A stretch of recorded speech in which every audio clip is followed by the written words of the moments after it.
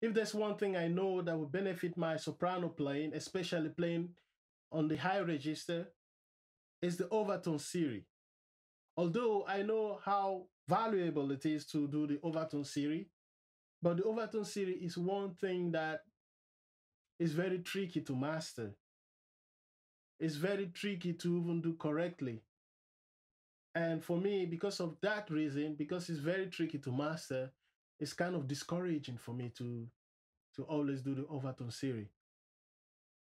On the tenor and the alto, I do manage once in a while to to do it, but it's not part of my regular practice. It's not something I do every day when I pick up my instrument. So there's a great challenge there for me doing the overtone series on the soprano saxophone. Well, it's not that I don't get the, the high notes or when I when I finger the low notes. That's not the problem. The problem is consistency. Let me give you an example.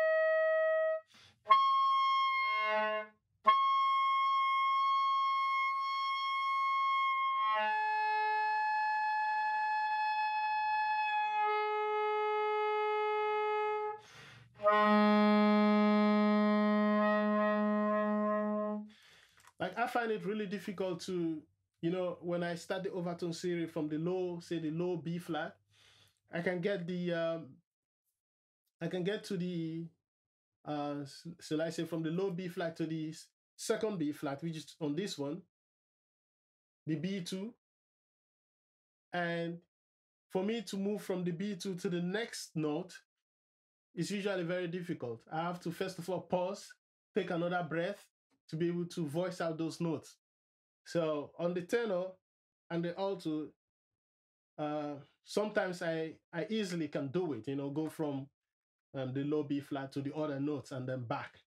But since it's not something that is part of my regular practice, picking up the instrument and and just in one go be able to do it uh, is really a great challenge for me.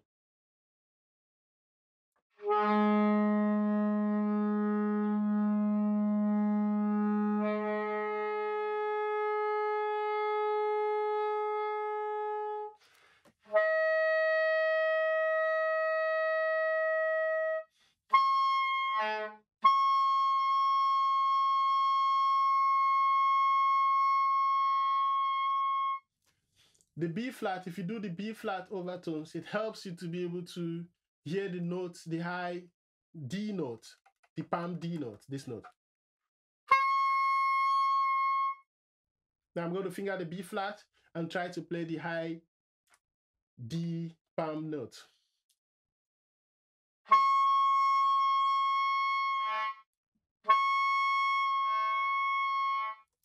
It comes out pretty, should I say clean?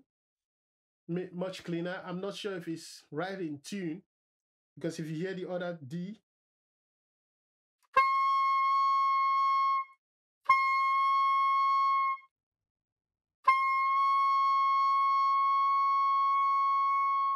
and this D,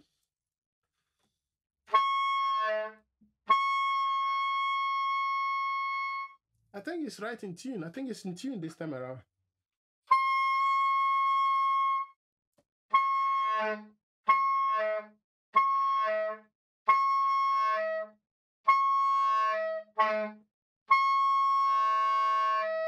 The way your embouchure kind of forms to produce those very high notes is very is the same kind of embouchure you keep whenever you're playing the altissimo register. So it helps. That that is why overtone is very important because once you do it, then you have a feel of what amount of the amount of pressure you need to be able to voice those high notes on the um, if you're doing the altissimo register. But for this for the soprano saxophone, it becomes really important for the you know for the palm keys because the palm keys are usually uh, out of tune and sometimes they don't even speak once you try to play when you try to play them. So overtone series is essential. but it's not an enjoyable thing to do. And of course, the neighbors, you know, when you keep doing this overtone series, it sounds like a dog barking or something, you know, especially from the low notes.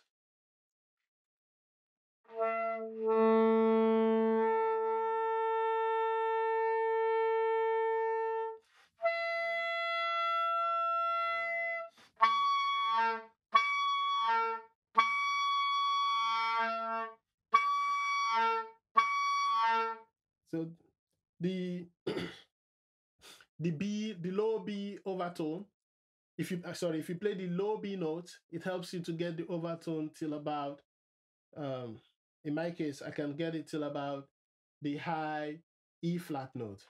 This note. Ah. Ah, sounding very out of tune.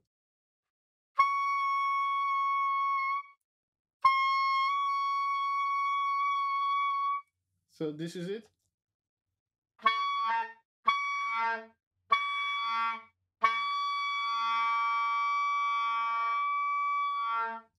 So that is the B flat, low B flat. I'm fingering the low B flat note while I'm thinking the high E flat.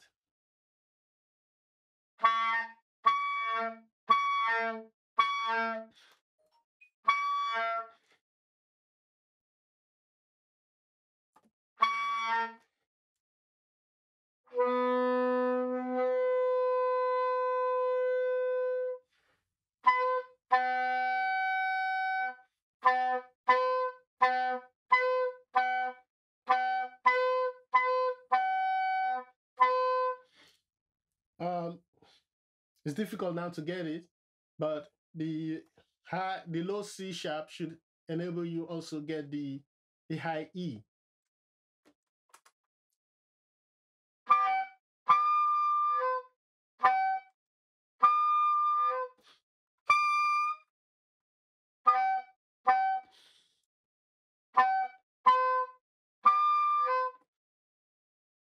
Anyways, what I've discovered is that once I finish my overtone series, if I say do it like 10 minutes or so, if I want to play the the palm keys, they become kind of relaxed and easy.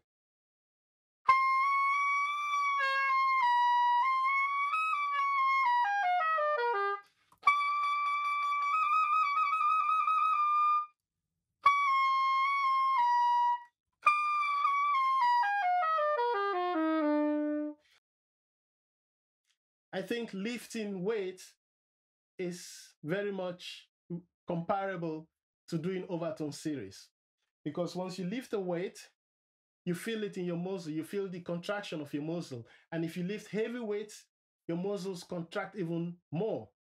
So when you're doing overtone series, your lip is doing the lifting. It's like power lifting, your lip is doing it.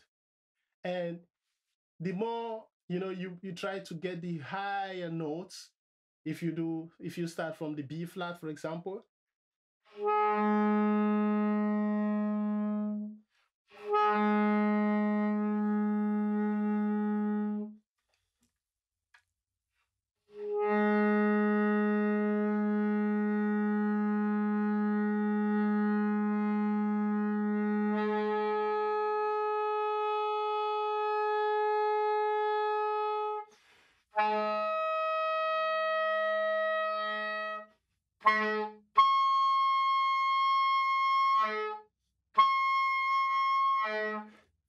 know for me thinking about doing the high notes is comparable to you know lifting doing more reps when you're lifting weights. You know when you do more reps let's say you're doing um, 10 reps you know when you get to say the eighth ninth and the 10th uh, lift you feel more kind of uh, resistance. So that is what the overtone series feels like it feels like that resistance you feel when you're lifting weights.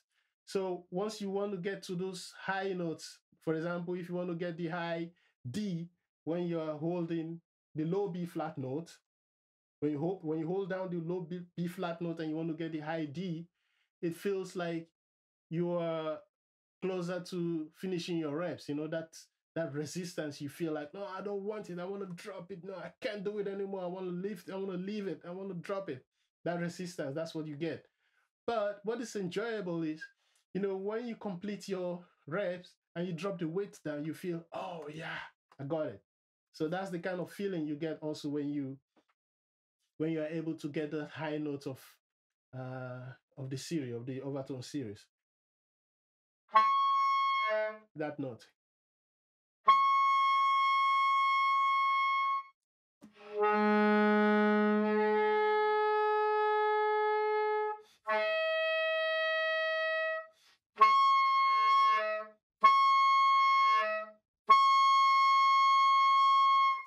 kind of mastery where each time you pull your overtone series, it speaks immediately. I don't know if anybody gets to that level, but that's not to say that somebody shouldn't aspire towards you know mastery if you want if, if that's what you want. But uh in my case the overtone series is just for me uh, it's more or less something i do to help me get to where i want to go to. It's not it's not the destination uh, at this point. So if you enjoy my video and you would like to see more content from me please don't forget to subscribe. Thank you and see you next time